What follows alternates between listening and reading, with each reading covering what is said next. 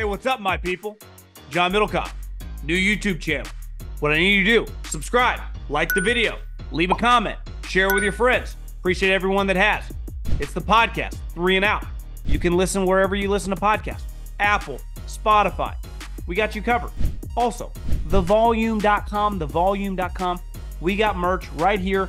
FlexFit hat. Go to thevolume.com. Get yourself a three and out hat. Well, we are officially under a week away till the NFL draft. But somehow Belichick has stolen a lot of headlines after the big ESPN article.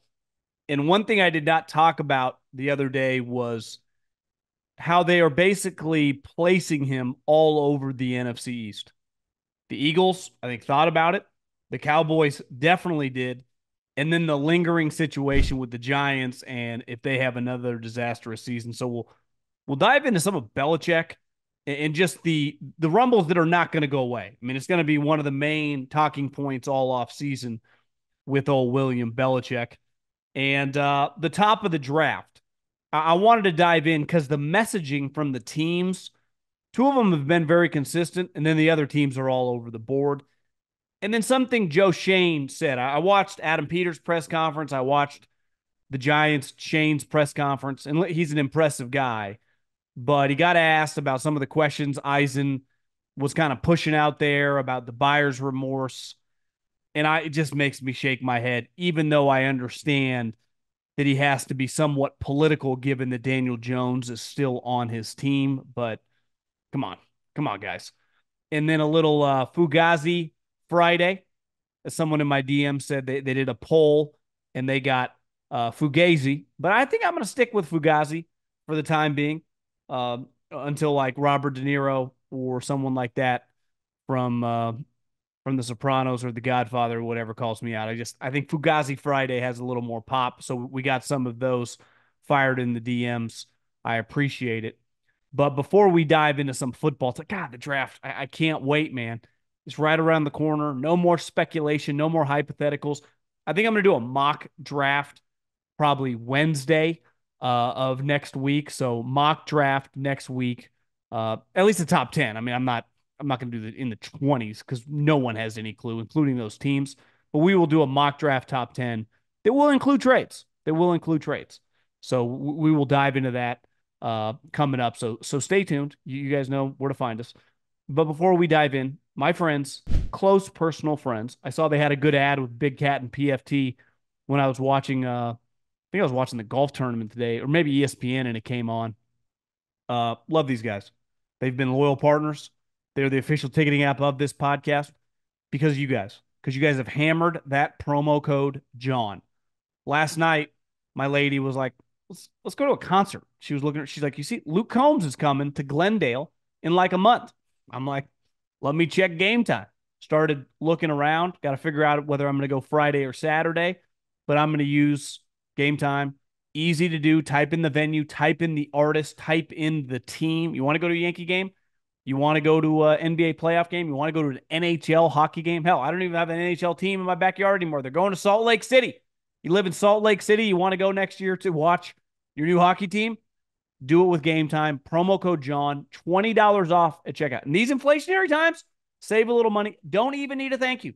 Just hammer that promo code, promo code John, save $20. I do think the Belichick conversation is pretty fascinating. I, was listening to Michael Lombardi's podcast. He's been on this show before. He's fantastic. He was going off because of the situation in Atlanta and how they, you know, are run by Rich McKay, who is the executor of Arthur Blank's estate. I I definitely didn't know that until like the last week. That's pretty crazy. Like I've known a few rich people in my day, usually the people that run their estate are either a child or like a lawyer that they've had for decades.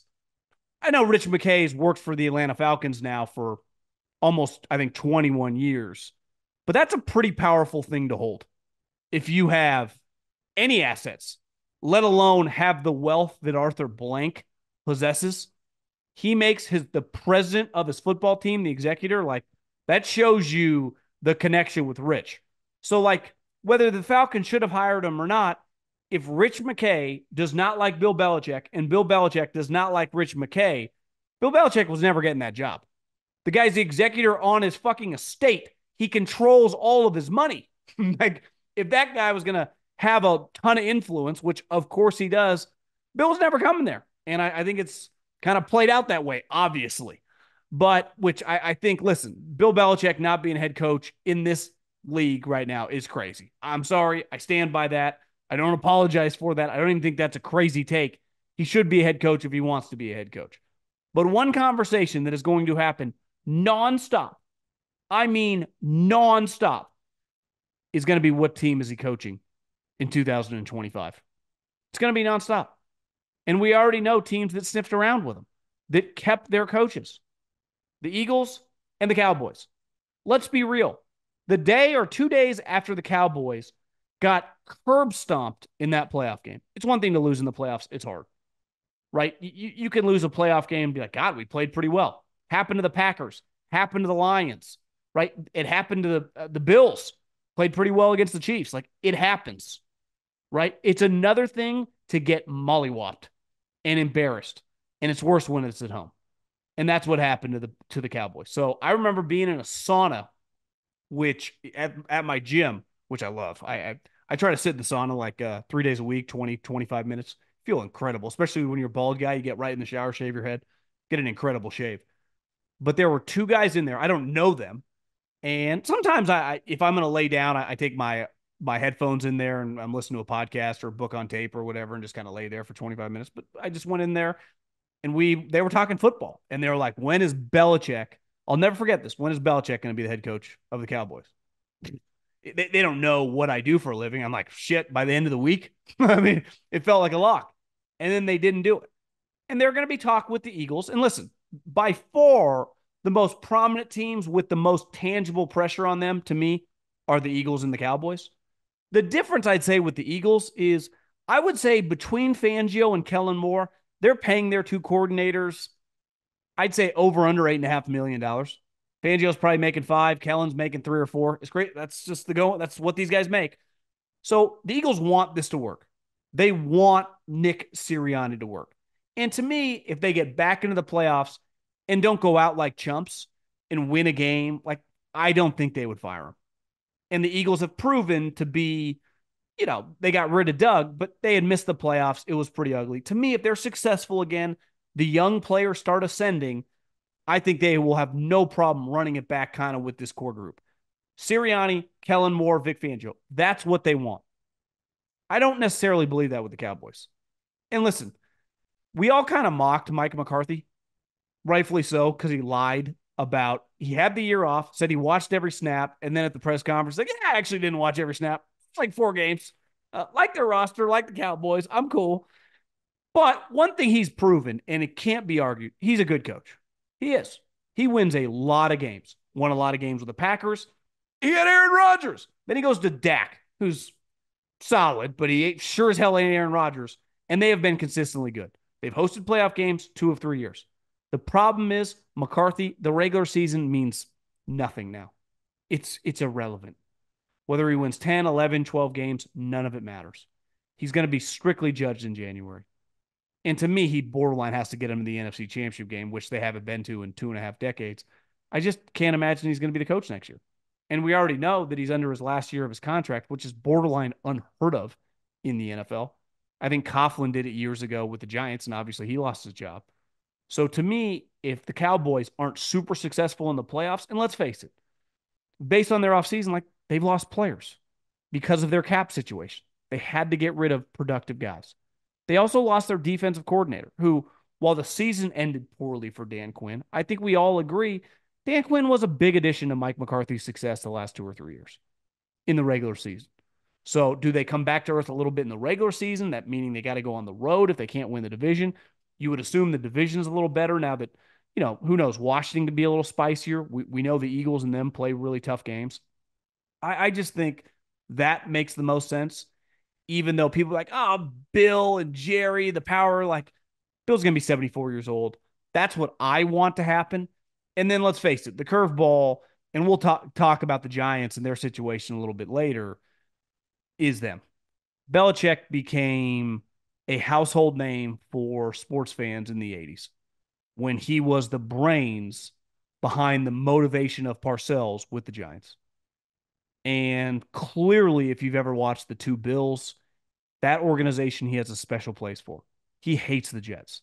He wouldn't piss on every player on the Jets if they were on fire in his front yard. He despises that organization. But it feels like he loves the Giants. And one thing with Bill, and I, am sure we'll see this, I clearly like Pat knows we can't really ask about the Kraft situation. Bill probably doesn't want to discuss that publicly, but that thing's getting really ugly.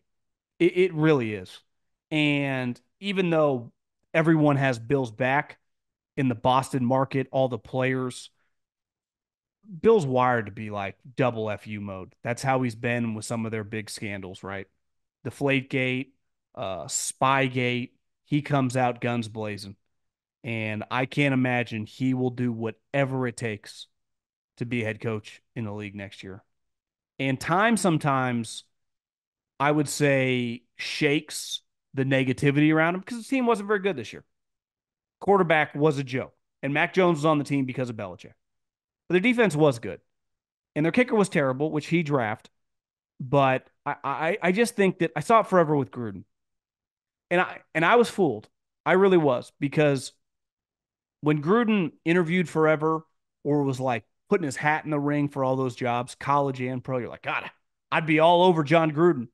John, you can get Jon Gruden? And then he came back and like, yeah, not quite what I expected. But then you look back, how successful was he the last four or five years in the NFL? Not really. So I, I, I think Bill is going to be constantly connected to these NFC East teams and that's fun. Like sometimes I think hypotheticals can get out of control. To me, there's substance behind this. There's reality behind this. And it's just going to be something that we continue to talk about, especially with the Cowboys. If this season just goes a little rocky, they, they already are in a weird situation with the quarterback and what they're going to do. Are they going to finally extend them? Are they just going to play it out? I don't know. Uh, but I, I think the Cowboys, to me, would be the number one if I had to rank them, you know, if you told me all three teams have shitty years, which I guess is possible, you can have a bad team win a division seven and nine. I would go Cowboys, Giants, Eagles in the ranking of Bill Belichick landing next year. The 82 game preseason is in the books, and it's finally time for the real season. Don't miss out on any of the NBA playoff action at DraftKings Sportsbook, an official sports betting partner of the NBA. From the play in tournament through the finals, DraftKings Sportsbook has you covered with same game parlays, live betting, odds boosts, and so much more. Download the DraftKings Sportsbook app and use code JOHN. New customers bet $5 and get 200 in bonus bets instantly. That's code J O H N, John, only on DraftKings. The crown is yours. One thing that has, you know, following these top teams and the messaging coming out of them that's been pretty interesting is the Bears never wavered, right? My mom could have told you they're taking Caleb Williams three months ago. Some people still like, I'd go with Justin Fields. Make it work. Give him a chance. And the Bears like, yeah, we're sending him to uh, the Steelers for a six round pick. See ya. And the conversation, even for those little radicals that wanted Fields to somehow survive, were completely muted. And we all agreed, like everyone knows. So we don't even talk about that much. There's nothing to talk about. Honestly, the only conversation with the Bears is what they're going to do with the ninth pick. But the messaging coming out, they don't even need to message. Caleb's taken one visit and it was to Chicago. I mean, he's going to be a Chicago Bear. Now, once you get to two, Adam Peters, I don't want to say has been as a steadfast in terms of like the Bears left n- no doubt but he has definitely let it be known like, yeah, we're not really open for business. We feel pretty confident at this pick. Now, we don't exactly know who he's going to pick. Most people and the betting odds would say Jayden Daniels. I wouldn't bet my life savings on it, but when people ask me and when I ask people, Jayden Daniels, Jayden Daniels, everyone says Jayden Daniels. So I think it's fair to assume Jayden Daniels. I wouldn't like fall out of my chair if another name pops up next Thursday, but they're going to pick a quarterback right? We know that. We just don't know exactly 100% sure who it's going to be. But the other teams have not been like that. Eliot Wolf said today, longtime executive, doesn't even have the GM title. Not quite sure what the Krafts are doing. Honestly, not quite sure. Just name the guy the fucking GM. I don't care if it's like, well, he actually has all the duties. Have the balls to name him the GM. I, I don't understand, separate from all the stuff with Bill and the production company, why are you guys being so weird with this?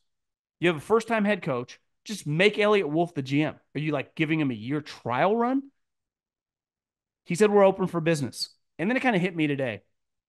If I'm the Krafts, Jonathan Bob, and I am getting destroyed locally, I mean destroyed. I have heard everywhere I look on the internet, Boston people. I played golf with a guy like three weeks ago from Boston. Everyone I've talked to or listened to say they he's getting crushed because it's clear. Like, listen, time to break up. Whatever. You, you don't need to like piss on the guy's grave.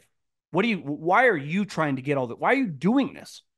Well, what's the easiest way to make that negativity kind of be silenced? Because if they trade back, it's like, oh, they added two first round picks and they got all these players. No one will care. No one gives a shit when you draft an offensive lineman until that guy becomes a star offensive lineman. But you take a quarterback, you take Drake Maye or you take JJ McCarthy with the third overall pick. We stop talking about how cheap the Krafts are, how shitty they've handled this situation, how just what egomaniac and control freaks they've become since Bill left. We just start talking about how good is JJ McCarthy or Drake Maye or Jayden Daniels going to be on their team. Takes all the oxygen out of that conversation. So even if Eliot Wolf wanted to trade back, one, he has no equity with the franchise in terms of, you know, he's never made a pick before for them. Two, he's not even technically the general manager. And three, if you're the Krafts, like take whoever you like the most at that position right there. We want you to do that. Bill might say, yeah, we're not doing that. And Bill would have traded back. Bill would have done whatever he wanted to do. Eliot Wolf can't. He just won't be allowed to.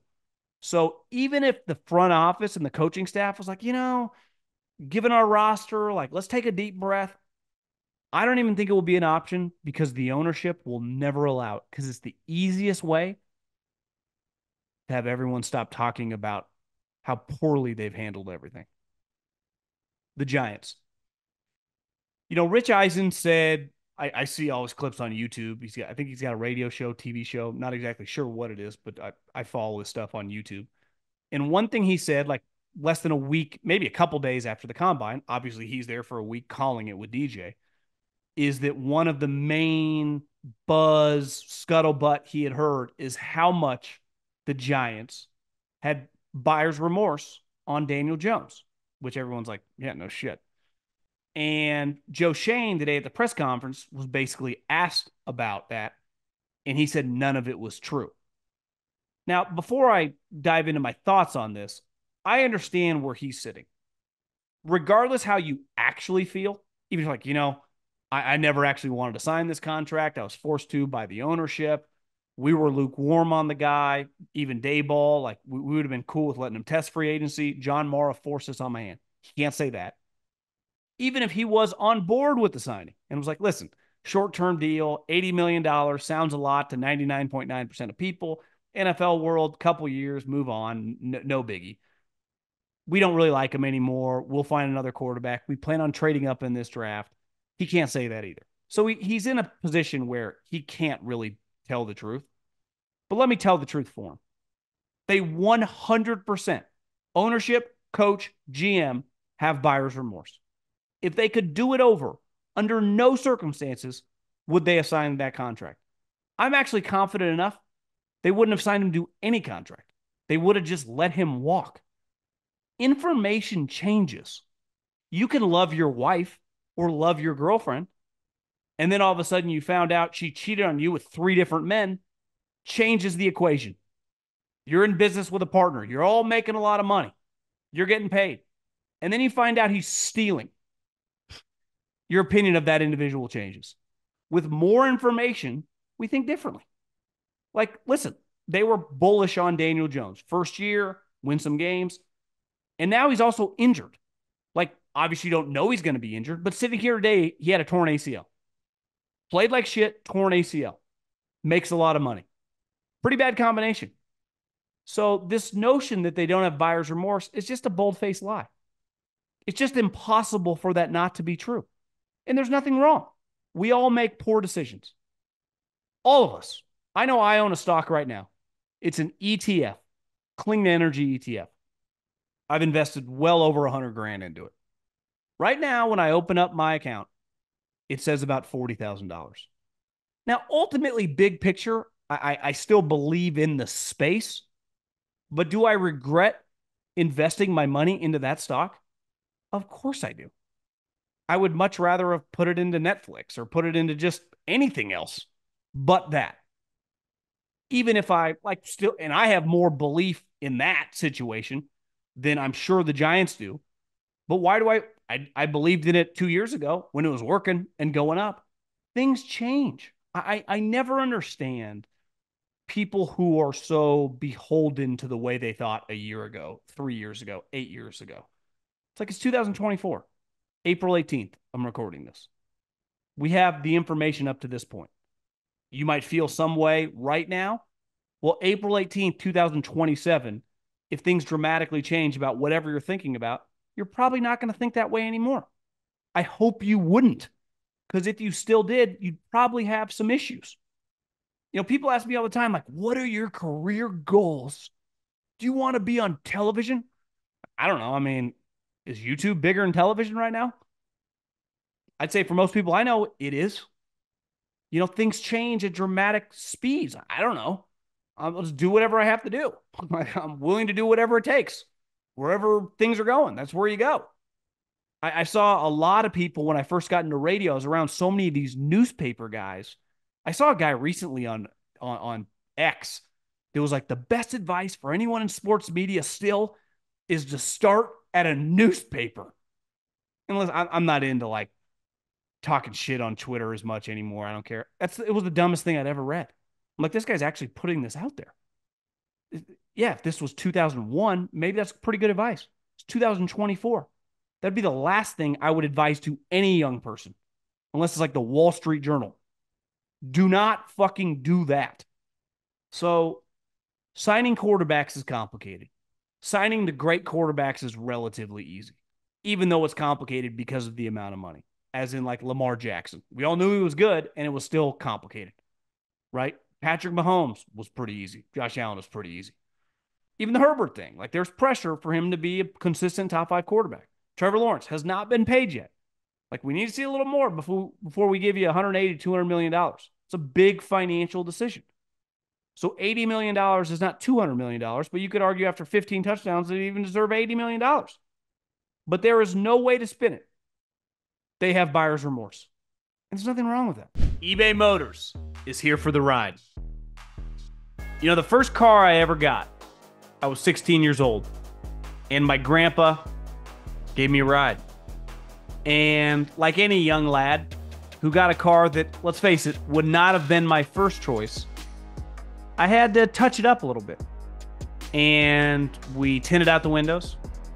We added a big subwoofer to the back, and you could hear me from miles away coming home. My, my parents sure loved me for that one. So did my neighbors. But I, I think the key to any young person getting a car is to personalize a little bit because you're probably not going to get your dream car. And as you get older, you know, you kind of become a car person or you don't. But you definitely have preferences, right? Some of us like bigger cars. I know I do. I've, I've only had big cars, SUVs. And uh, there are certain non negotiables. I, I just like, I like three rows of seats. Now, ideally, I don't have kids right now, so I take out that third row of seat and I like a big, you know, I, I like a lot of trunk room. Some people, you know, don't like SUVs, like smaller cars.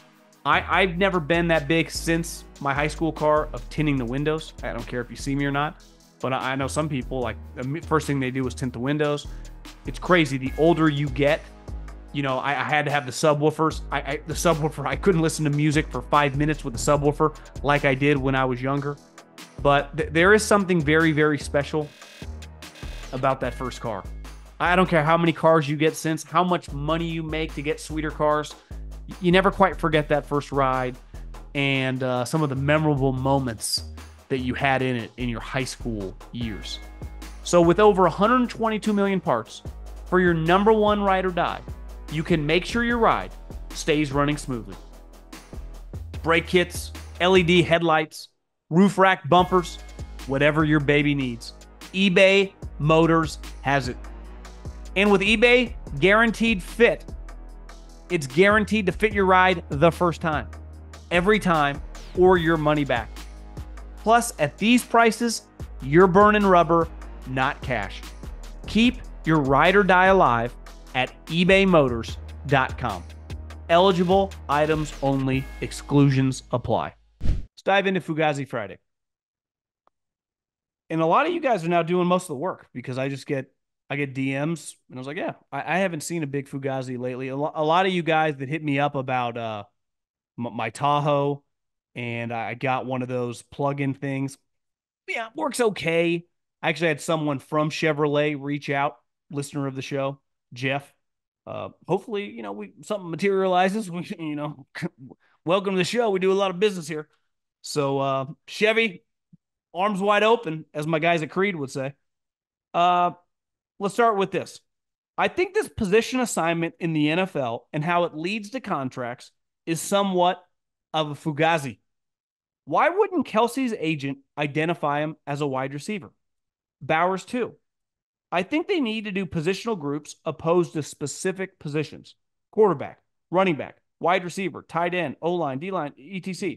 With the amount of scheming and utilizing players in multiple positions with different formations, I think the current model is outdated and they need to revamp considering its direct impact on the cap, player contracts, and franchises. Totally agree. Would not be opposed to that. And I'm not exactly pro agent here, but I think it makes a lot of sense. Travis Kelce is a wide receiver. The problem is the way the situation is constructed. Jimmy Graham was too, and he tried to argue and he lost. So it gets too complicated where you just, it's not worth arguing over something. You will not win. And like in real estate, it's all just comps on your position. Even though Travis Kelce would say, Who's my comp? I catch 100 balls a year. I'm the greatest receiving tight end of all time because I'm a fucking wide receiver. But that's not the way it works. Micah Parsons, like, hey, Nick Bosa is a defensive end. He just got $120 million guaranteed. I am not an outside linebacker. I'm a pass rusher. Just like TJ, just like Bosa, and just like Myles Garrett. I am a pass rusher. Pass catching tight ends and pass rushers get screwed. 1000%. Totally with you. This is a Fugazi Friday. A couple months ago, my wife and I had VRBO booked for a trip to Miami, taking a little weekend in the sun. Less than a week before our stay, we get a notification from the owner that they sold the place and a reservation was canceled. While they did technically refund us, so you got refunded, it was extremely frustrating. No alternatives, and the rebooking was on us to figure it out. If it were the other way around and we canceled for any reason, we would have lost our payment due to the terms. But since the owner cancels, they don't have any repercussions. What the? Fugazi. I think there's a simple solution to this.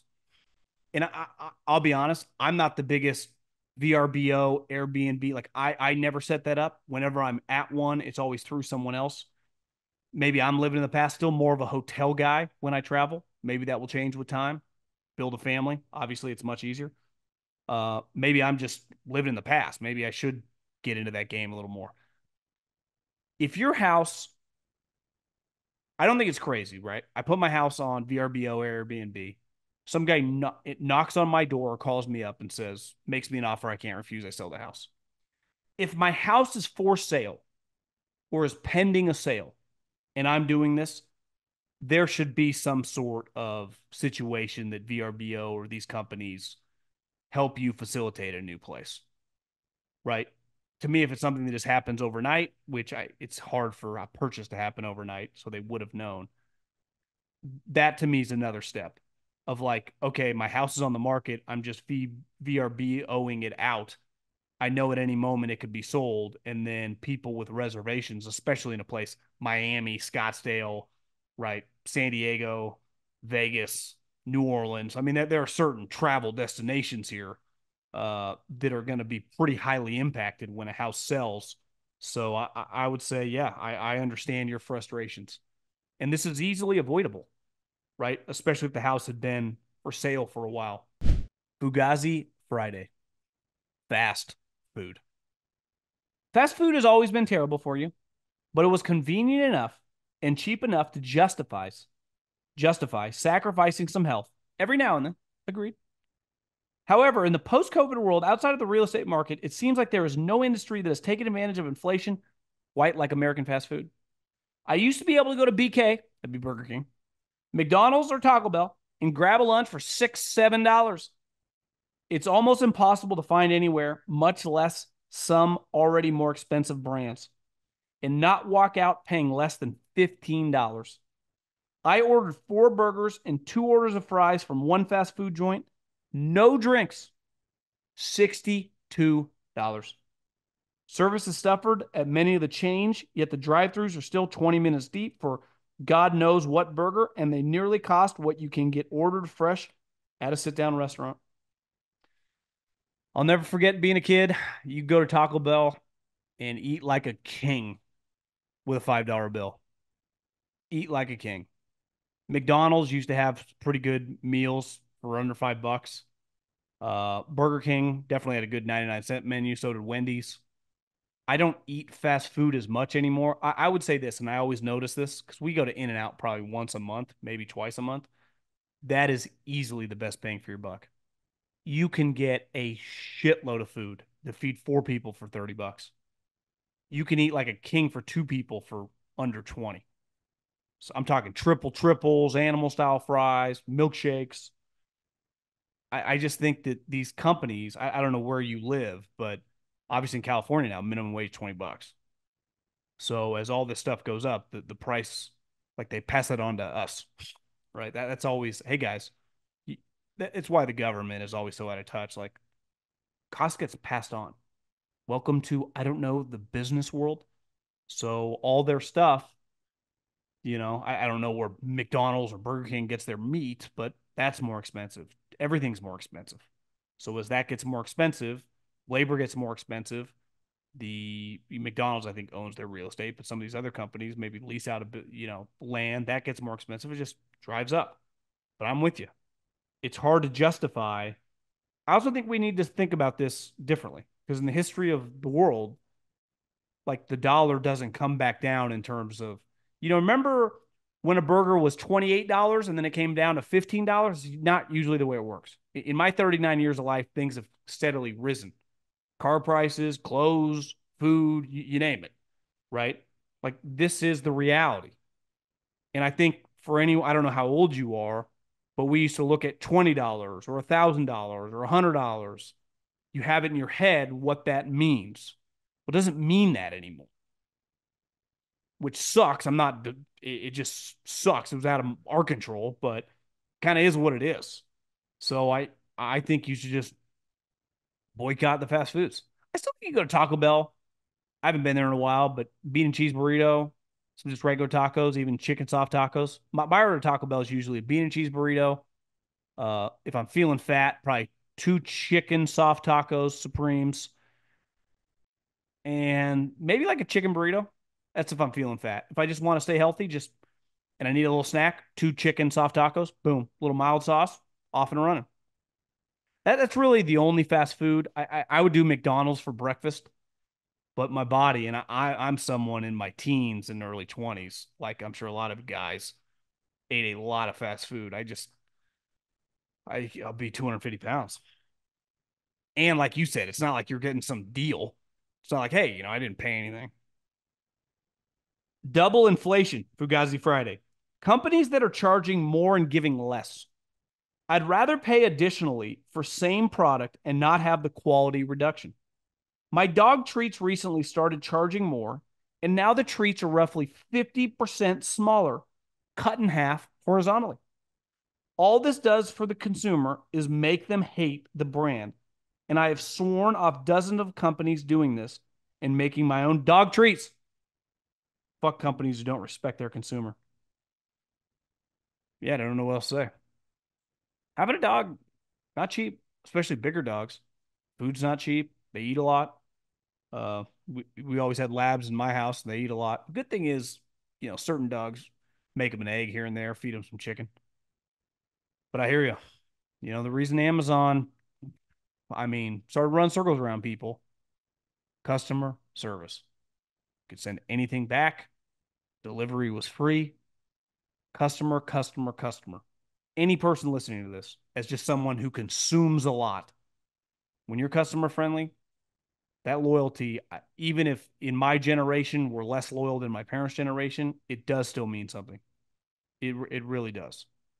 Shitty customer service is always the easiest way. You better have an elite product. It's like a player. It's like, well, he's pro bowler. Yeah, he's been arrested a few times. Well, still a pro bowler. You're not a pro bowler and you're getting arrested. See ya, you're cut. Right? It's like, yeah, the food's elite. Customer service sucks. You're like, yeah, I'm still eat there. Like, oh yeah, your product's okay and your customer service sucks. Peace because it's never been easier to find other options, right? Got this little thing called the internet. Lakers basketball is a fugazi. First time watching a Laker game all year. And the end of the game is just give the ball to AD. Then they have a foul. AD shoots free throws. Lakers win on 80 free throws. I think the Lakers, I heard on a podcast earlier this year, were like setting a record for most free throws in a year. Uh, I mean, the, the Lakers won that game because Zion got hurt they were going to lose. Zion was dominating. Luckily, we get to watch the Lakers lose to the Denver Nuggets, who are going to kick the shit out of them. They've got, I'd say five. I'll give the Lakers a, a courtesy game. Adios, LeBron. Adios, Steph. Adios, NBA television ratings. When your two most famous players, one gets knocked out in the 9 10 and the other gets knocked out in the first round, it's going to be rough for business. You know, I, I, I like playoff stuff, but if you think I'm watching Kings OKC, you got another thing coming. Fugazi Friday, the market for NFL quarterbacks. I'm a Dolphins fan, and the big topic this offseason for fans on Dolphins podcast is obviously Tua's extension. Everyone keeps bringing up the quarterback market and that you can't offer a guy like Tua $30 million a year because the market dictates that he should make more like 55 million. I feel like I'm taking crazy pills. They claim this is why Daniel Jones' contract happened, among other dumb quarterback contracts. The quote unquote market is such a fugazi. If you put Tua on the open market, there is no shot that a team would pay him more than $30 million. I, I never quite understand this either. Because Daniel Jones and, and even Tua, you're not afraid to lose them. Like what drives up a price for a player is like he has leverage if so if Justin Jefferson hit the open market, if Nick Bosa or TJ Watt hit the open market, like you know, people would be lined up. 20 teams, the good teams and the bad team. No, everyone would try to sign the guy. Okay, it's like, yeah, here's our offer. Three years, $80 million. We'll guarantee 80. We'll guarantee the whole thing. But th- this is your offer. It's like, no, what the disrespect. Okay, play this year out, hit free agency, and see what happens. If you play so well this year, maybe we'll up the offer. I, I never quite understand that with these middle tier quarterbacks. I, I, I don't get it. it. Makes no sense to me. Baseball's all out of whack just in terms of guys signing right before the regular season. Their free agent, their, their business model's fucked up. But one thing that's come back to earth is like, yeah, Ohtani's worth 700, Mookie's worth 400. Most of you guys are worth like 100. And some of these outrageous contracts have definitely slowed down. And it's just healthier. It's like, yeah, not everyone's worth this. The NBA is obviously all out of whack. They max out everybody. But the NFL has that problem at quarterback. Like, yeah, Lamar, Mahomes, Allen. I- am sorry. Like, what's Tua, the 14th best quarterback in the NFL? Here's $28 million a year for three years. If you improve, we'll bump that number up. We like you. Someone's going to pay you? Yeah, someone would pay us. That was what his agent would say. Okay, go play for them for $45 million. Good luck to that fucking team. Godspeed. I'm with you. I I I never have understood that. We, have seen it happen with Dak. We saw it happen with Dak a couple years ago. Uh, feels like we're going to see it with Tua this year. Be interesting what happens with Dak again. I, I just don't get like a more manageable number, how there's not a gap, right? Because there is a gap in terms of the play. So if there's a gap in terms of the play, shouldn't there be a cap in terms of the compensation? If one of my sales guys is bringing in $10 million a year and the other sales guy is bringing in $2 million a year, who do you think is making more in bonuses? Right? It's like, well, one guy's just way better than the other guy by every metric. The eye test, playoffs, like it's not even debatable. I don't get it. Never have, never will, to be honest with you.